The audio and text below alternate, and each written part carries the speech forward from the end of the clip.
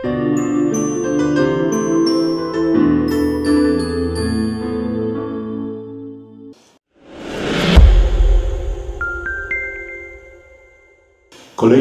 nagranie mojej otwartej bramy w Lublinie, w Bramie Grodzkiej, gdzie te vlogi powstawały, przez kilka lat były nagrywane, zanim przeprowadziłem się do Szczecina. Dzisiaj o mojej książce Rozmów z Trzebachem Weissem w dwóch światach,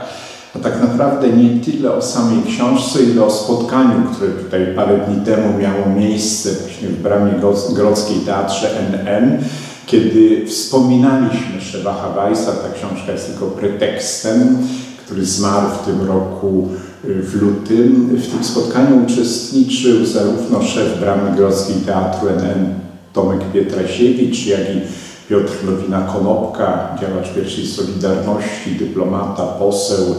polityk, dzisiaj już emeryt i ja, prowadził Grzegorz Józefczuk przy bardzo dużej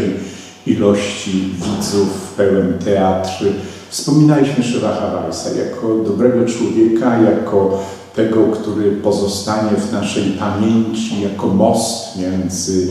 Żydami Polakami, między Żydami chrześcijanami, między państwem Izrael a Polską, ale jako człowiek, którego my wszyscy, tak mi się wydaje, zapamiętamy nie tylko z całego jego obrazu misji ambasadora Izraela w Polsce, a potem wieloletniego profesora Uniwersytetu Warszawskiego, ale jako człowieka, który wypowiedział te znamienne zdania w czasie obchodów wybudowania pomnika w Jedwabnem, gdzie Polacy w stodole spalili Żydów. Szewak Weiss wtedy powiedział na tych uroczystościach przy prezydencie Kwaśniewskim, a ja znałem inne stodoły.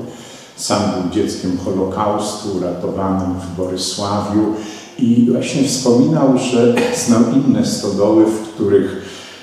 Żydzi nielicznie, ale jednak w tysiącach zostali uratowani przez polskich sąsiadów, czy jak w jego przypadku również ukraińskich sąsiadów.